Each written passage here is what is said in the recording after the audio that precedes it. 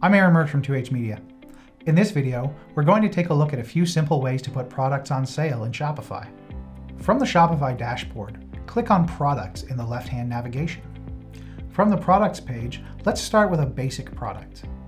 On the Basic Product page, scroll down to the center of the screen and locate the Pricing section. Next, copy the current product price into the Compare at Price field.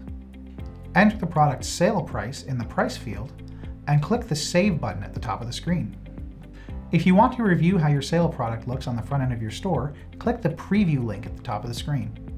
In most Shopify themes, you'll see the Compare at price crossed out with the sale price displayed nearby. It's also very common to see the exact saving amount displayed nearby in an alternate color. Putting a variable product on sale is a little bit more complicated, so let's navigate back to the Products page and select a variable product. Scroll down to the Variants section and click the Edit button next to the desired product variant. Once the variant page appears, you can once again copy the price into the Compare at Price field and enter your sale price in the Price field. You can click through the available variants in the menu on the left.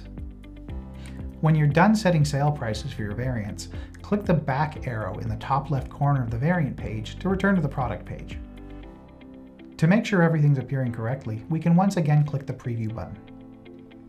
If you've only set some of the variants on sale, you'll see that the way the price is displayed changes from variant to variant as you click through the available options. Setting sale prices can be done much more efficiently in bulk, so let's navigate back to the Products page and take a look. From the Products page, click the checkboxes next to any number of desired products. Within the Bulk editor, you'll see that the Price field and the Compare at Price field are both displayed, not only for each product, but also for each product variant.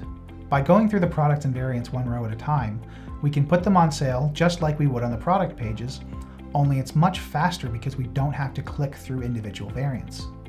Once you've finished making changes, click the Save bar at the top of the screen. And that's it.